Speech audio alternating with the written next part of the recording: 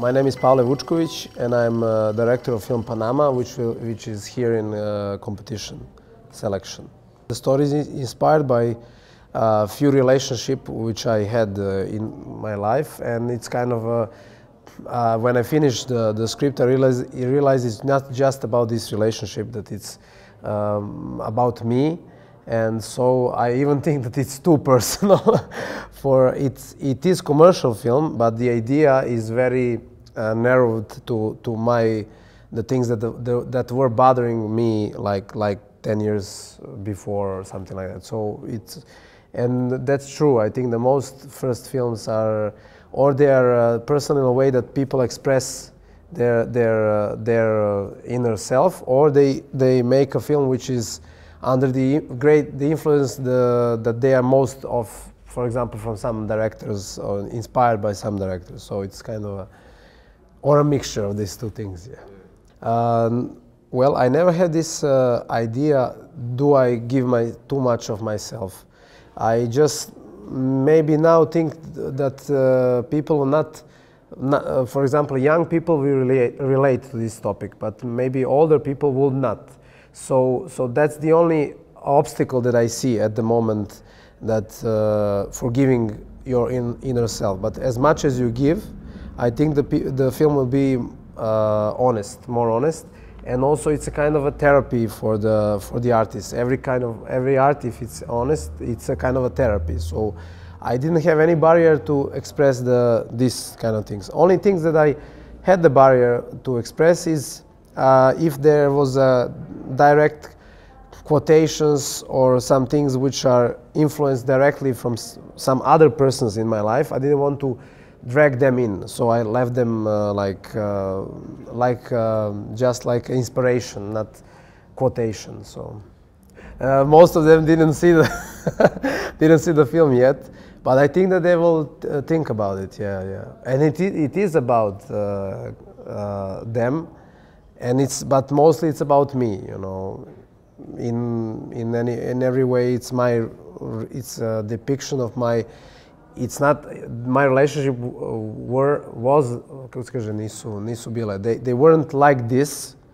It's not depicted. Uh, every time i do something i try to make it more interesting because my life wouldn't be interesting. I never chased somebody you know or, or looked at the phone or something like that.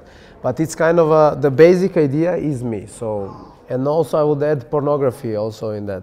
Um, that uh, the idea of the film is it's uh, to depict how this digital relationship, digital communication and pornography influence this uh, the relationship. It's not it's a topic, not the idea of the film, and uh, I think that now we are living in a very narcissistic uh, society. I'm, I'm, talking about the Western Europe and Western countries, which are this uh, self-observed. Uh, I'm not talking about the uh, tribal, you know, in Nueva Guinea or something like that. So um, it is kind of a critic of this kind of a relationship, uh, this kind of uh, communication, because as, as it helps communicate, it also blocks communication, the digital, social media, media and, and uh, also pornography in 70s and 80s were, uh, was kind of a stimulus to, to relationship and to sexual intercourse. And now it's a barrier. People uh, go to uh, consume pornography mostly because they cannot consume real relationship and real sexual intercourse. They, they consume this and uh, it's for me, I think in maybe 100, 100, yes, 100 years, uh, then people will realize how much influence we had and how our lives were shaped by this media. It's like a fish in the water. They, we, when you ask fish in the water, what is water? They don't, she don't know.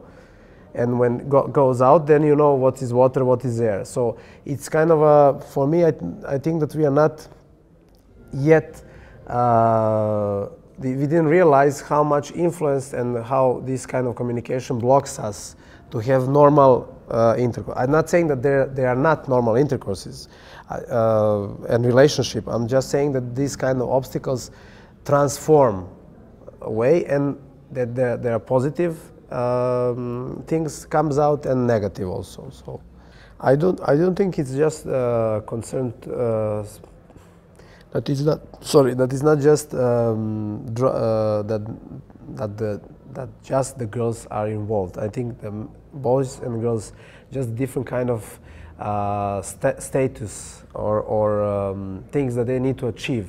Boys have to achieve even now it's more uh, before there was like uh, cars and everything now it's becoming more masculine masculine uh, physique or something like that so i think it's uh, it's this kind of narcissistic uh, approach or atmosphere is um, around boys and girls the same way just you can easily um, for example realize for the girl something because she's like having a selfie but I think the, the both the gen it's not a gender issue. The both genders have these kind of uh, uh, levels that they need to achieve so that they will think of themselves that they are fulfilled and always this fulfill, fulfilled uh, fulfillment if there is a word in english like this uh, comes very short it's not long-term uh, solution. It's just a short-term solution which is constantly you know uh, re, re uploaded re-uploaded re-uploaded uh, with